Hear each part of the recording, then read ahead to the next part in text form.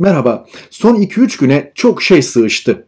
CHP adeta cesaret hapı içmiş olacak. Ekrem İmamoğlu ve Mansur Yavaş ard arda yolsuzluk dosyaları açıkladı. Kemal Kılıçdaroğlu Meclis Genel Kurulu'nda fevkalade bir konuşma yaptı.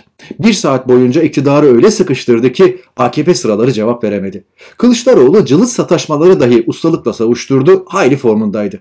Son 7 senedir CHP'nin hatırı sayılır iki eylemini hatırlarım. İlki sıfırlama tapelerinin meclis grup toplantısında yayımlanması, ikincisi Enis Berberoğlu'nun tutuklanması üzerine Ankara'dan İstanbul'a adalet yürüyüşü. Başka yok. Yoktu demek daha doğru. CHP şu son çıkışla gözleri üzerine çevirdi.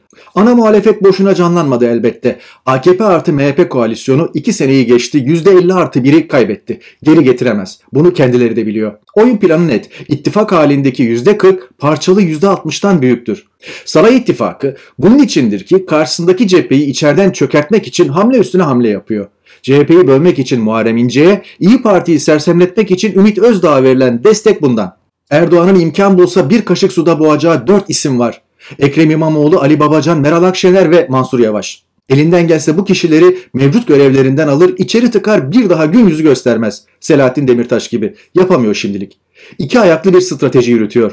%50 artı biri kaybettiği için karşı cephenin bunu bulmasını istemiyor. İki, seçim sisteminde minik bir değişiklik arzuluyor. İlk turda barajı 50'den 40'a düşürmek veya en çok oyu alan adayın Cumhurbaşkanı seçilmesi tıpkı belediye seçimlerindeki gibi. Tabi bu senaryolar henüz ham. Olgunlaşması için siyasi zeminin uygun hale gelmesi, saha temizliği yapılması, olası adayların netleşmesi gerekiyor.